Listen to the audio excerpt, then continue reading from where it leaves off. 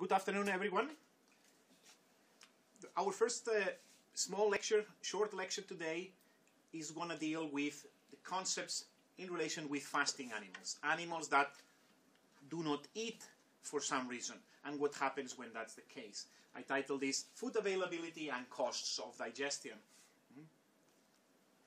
Have to start this properly. There you go. Important to see that in nature, in the wild, there is a large plasticity of food intake. Animals don't eat when they want. They eat when they can. Hmm? Food resources are limited. Food resources fluctuate seasonally. There are changes. These variations in amount of food available can be more predictable if it's a seasonal thing, but they can be totally unpredictable as well. And animals have to adjust to that situation. There are several different strategies. I consider three of them. The first one is migration to alternative feeding grounds. An animal that cannot find food here moves to another location where there is food. This location can be kilometers away or thousands of kilometers away. Phenotypic changes and diet switching. Instead of moving, you just eat what's available. Some periods of the year you may have more insects, some periods of the year there's going to be only some vegetables available. Well, the animals adjust to what's available. And finally, the strategy about storing energy and waiting for better times.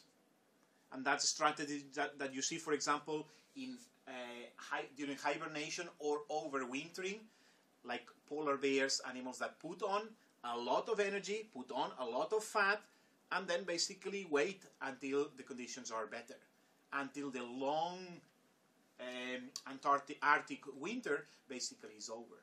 Or you can see also that in penguins. In both cases, what you have, of course, it's also a reduction in metabolic rate. So it's not that these animals put on a lot of fat and then continue doing what they do. No, they just go down, reduce metabolic rate, waiting for better times.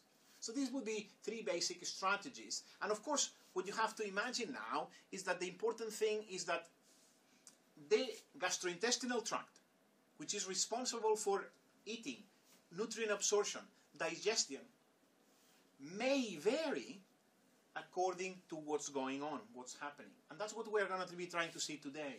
Mm -hmm. First of all, it's important to distinguish between fasting and starvation. Fasting is an active choice. An animal decides not to eat. That's fasting. Hmm? An animal that is fasting would refuse to eat even when resources are plentiful. And of course, this is different from starvation. Starvation is not a choice. Starvation is basically, if you want, you could see that an animal that is fasting, at the very last periods of fasting, that could be equal to starvation. We'll be looking at the differences there. But important, starvation is not a choice, and basically, if this lasts for too long, it can lead to irreversible damage. One easy strategy that you may think of is that when animals are fasting, when the resources are not there or the animal decides not to use these resources, the first thing is go into a saving mode. What can we save on? And one of the immediate organs, systems, that you can try to save on is the gut. Because you are, not, you are not eating. The animal is not eating. Therefore, what's the role of the, uh, of, this, of the small intestine, the large intestine, the, the, the stomach, if the animal is not eating? You could say that there is a very little role. There is no need for them and then you can actually use this strategy, gut, gut resorption, basically atrophy of the gut. It does not mean that the gut disappears. It simply means that the gut becomes a more economical organ. That way you save energy. Fasting, as a result of the, this gut resorption, fasting is associated with functional and also structural changes of the gastrointestinal tract. Mm. At the same time, of course, fasting results in energy depletion, and this energy depletion, this decrease in the energy resources, actually is respond or trigger important metabolic and important endocrine changes that we will see. So what we will be reviewing in the next lectures is exactly these processes. Hmm? Let's look at some examples. animals that fast for the defense of their territory. Good example. Seals, male seals, or in this case, actually what you have in the picture are elephant seals. This is uh, an overview of one of these uh, seal, uh, no, uh, elephant seal colonies. What you see here in the middle is the alpha male. The alpha male basically is monopolizing on most of the females. You have a beta male uh, uh, in the periphery of the colony, and then you have peripheral males. Hmm? Obviously, why is this animal fasting? Because if the animal does not fast, goes to sea to eat, when it comes back, the whole thing may be disturbed to his liking. Hmm? The females may not be equally attentive to him anymore. The, the males would have taken advantage of his absence, and that's not what this male elephant seal wants. Therefore, you sit tight, suck it in, fast. Migration as another strategy. Birds moving long distances for, from winter breeding grounds to summer feeding grounds. Hmm? These, during migration, animals do not eat. They may do stopovers, some species do, some species don't. But during migration, there is no eating. Hibernation. One, ground squirrels, for example, a ground squirrel hibernating, they are fasting during this period of time. And then you have also the almost obligatory uh, fasting associated in penguins with molting. Molting is the process by which the penguins, any other bird for that matter, uh, basically changes the um, feathers. During this period, the animal cannot go at sea because the insulation that the feathers provide is gone. Therefore, this animal would not survive long in the water. During molting, it has actually to be on land. The same thing for breeding, the same thing for incubation. Incubation has to take place on land, therefore it's a period where the animal is not going to be eating. Examples of animals that actually fast, and you see that basically there's a wide variety here. And you could say, well, are there common strategies? Yes, there are some common strategies. Are there also there are also different strategies? We will be focusing eh, later in later lectures on some of these aspects, but not all of them. Hmm? What's important is that when we look at the energy budget of an animal, is that we see that the existence of these trade-offs that we are talking about. Mm -hmm. Essentially, the chemical energy ingested can be lost as feces or, or can be absorbed into the animal. Can also be lost in urine or secretions or different structures that the animal is making. Otherwise, it goes into metabolizable energy. This is energy that is available for the animal to do things with. What things? The first of all, maintain the structure, what we call basal metabolism, basal metabolic rate, hmm? maintenance cost. But then, animals have costs of activity, locomotion, even for communication. There are costs associated with that. There are costs for digestions. There are costs for digestion and also the synthesis of new, uh, new structures or the production of new tissue. So what's important to see is that within this equation, this energy budget, a fasting animal will have to make decisions. Mm -hmm. And in this case, fasting could result in a compensation, compensating basically maintenance costs for the gastrointestinal tract. Mm -hmm. And that basically, uh, that compensation for maintenance cost may have consequences in the, in the future, as we will see what, how much does it cost to maintain the gut? This graph shows you in a very simple fashion basically how much blood flow is going into different organs. How much blood flow is going to different organs. To the liver and the digestive tract, it's basically about 1.35 liters of blood per minute, which makes up to 27%. This is in resting conditions. 27% of the blood pumped by the heart goes into the digestive tract or the liver. This is almost a third. This is almost a 3rd So that basically tells us that the gut, that the gastrointestinal tract, is actually a very active tissue. And it accounts for a proportion, a big proportion, say about a third, of the basal metabolic rate. 20 to 30% of the basal metabolic rate is used in maintaining the gut. And we will see in a second what that means. Hmm? It has also been estimated that between 28 to 46% of the whole body protein synthesis, the amount of protein that is synthesized in the body, is actually used in keeping, maintaining the intestine in mammals.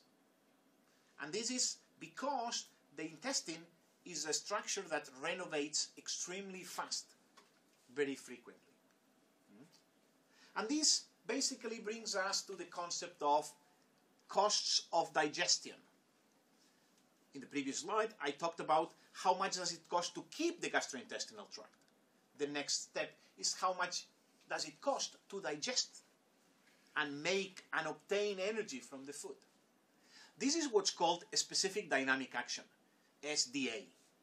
SDA is an extremely common term in physiology. It's also a bad term in a way. It means very little, but it's kept for historical reasons. A specific dynamic action is actually the increased metabolic rate that an animal sees or that an animal shows after ingesting a meal. In a very graphical format, if the metabolic rate in resting conditions is this, that would be the fasting metabolic rate. When the animal consumes a meal, what you will notice is that the metabolism, metabolic rate, oxygen consumption basically increases and eventually goes down again. At the end point here, you would say that digestion, absorption has finished. So there is a period of time that can be shorter or longer in which it costs. It costs to digest, it costs to absorb the food. This SDA, this specific dynamic action response, is actually characterized by this curve. The SDA is actually the area under the curve. And in here, of course, we have a peak. And there is a time to this peak. The time to the peak is from the, the meal ingestion until the response picks up. This is one parameter that has been used to characterize the SDA. Perhaps SDA should not be used, even if it's for historical reasons we do it. You should call it a postprandial metabolic response. Postprandial me means after a meal, the metabolic response after a meal. But SDA has got fixed in the physiology literature, and everyone uses this term. And it's important for you to understand what SDA, what is meant by SDA.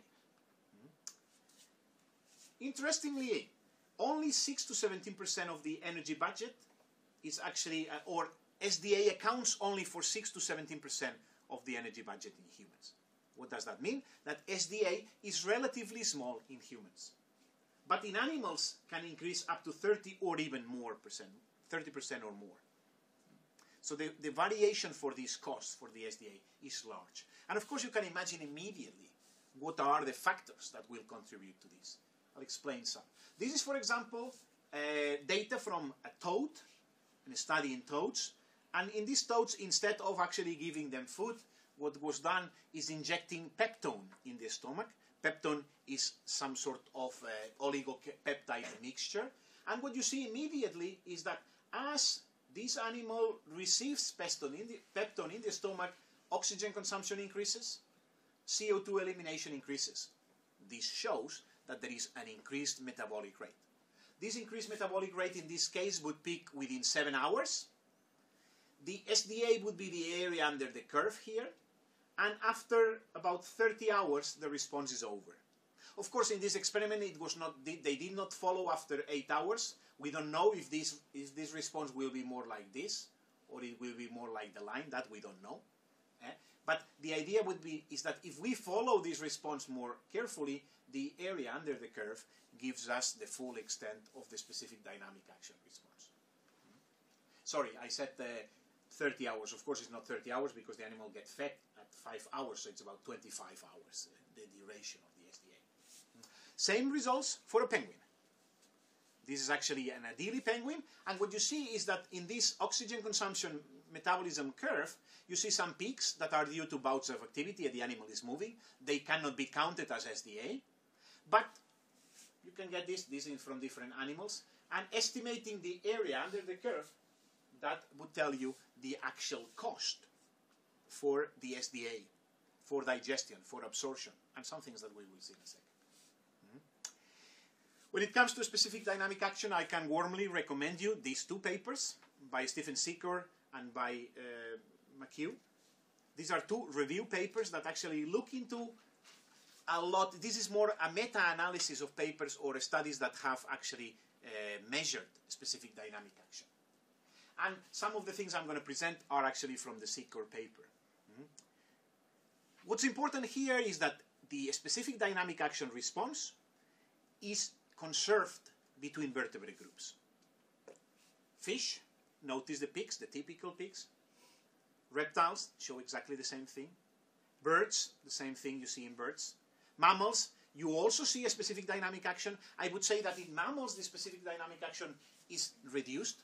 Why? Mostly because mammals, most mammals, at least the ones that are shown here, are animals that eat regularly. Ani- An animal that eats regularly, of course, then the specific dynamic action is going to be smaller. A very conserved response. All animals, even invertebrates, will show a specific dynamic action after food. Can we try to be more specific about the, spe- the specific dynamic action? We have to. It's important. What are the costs that contribute to specific dynamic action? Specific dynamic action, we see it as an increase in the oxygen consumption curve. What contributes to it? And they are broken down into pre-absorptive costs, costs before absorption, absorptive costs, the cost of absorption, and finally post-absorptive costs. What are pre-absorptive costs? Well, something as simple as heating the meal to body temperature, that takes energy. Gut peristalsis, the movement of the gut. Enzyme secretion, that has to be done before you can even absorb. Protein catabolism, acid secretion, in this case this is in the, in the stomach of course, acid secretion in the stomach for this protein catabolism to take place. Intestinal remodeling, meaning that if you have to cha- make changes to the intestine so that absorption can occur, that has to be done beforehand. And even blood pH regulation, because when absorption takes place, there are changes in blood pH that have to be compensated for. What are absorptive costs? The actual absorption in the intestine itself, the nutrient transport across extra digestive membranes. That means that when the nutrients have, are transported from the intestine into the blood, but then they have to be delivered to different organs as well. And finally, hormone induced metabolic increases. These are all costs related with the absorption phase itself. And then you have costs uh, related with after absorption, the synthesis of proteins, ketogenesis, the formation of ketone bodies, that actually is an energetic cost, amino acid deamination oxidation. So what you see here are mostly catabolic processes that have to be considered. Glycogen production, in this case it's an anabolic process, process basically storing glucose in the form of glycogen, production of urea, renal excretion, and even growth. All these are costs that are baked in into the specific dynamic action response. Just to give you an example here of that the composition of the meal is important. This is data from uh, Burmese python. This is a python actually eating the same amount of food actually delivered in different forms. The highest curve here is if the python is eating an intact rat. rat. You give a rat. If this python eats the whole rat, basically oxygen consumption or the specific dynamic action response will peak like this. If you do the same but homogenize the rat, I'm not even sure how you do that, how you give that to a snake, but homogenize it means basically mince it in smaller pieces. You notice that the response actually peaks faster and is shallower. Even if you could say the rat has the same energy content. But of course, the costs are different because in this case now, there is no need to actually basically mm, uh, uh, mix down or mix and actually uh, dissolve or the, the digest down the whole animal. The animal is already digested. If you give a liquid diet that actually has the same energy content, this is much smaller. Or if you actually infuse, infusion means that you inject the homogenized rat in the intestine.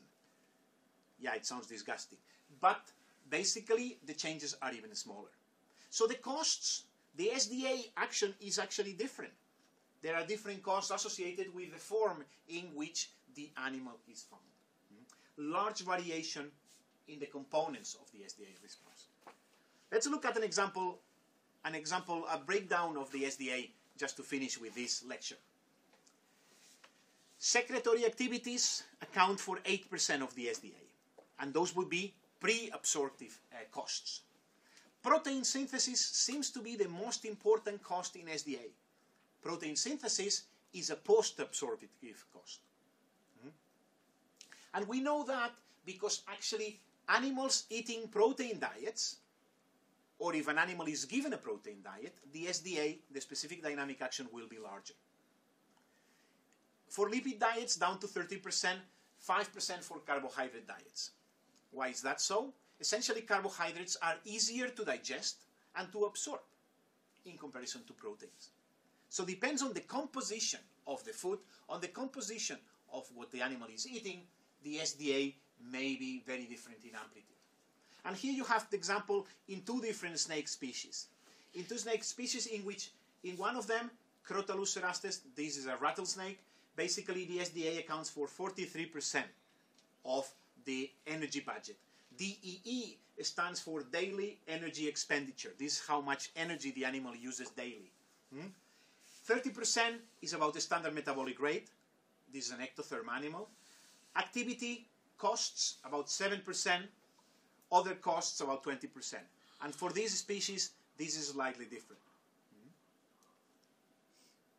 So, to wrap this up, specific dynamic action is actually the cost of digestion and absorption.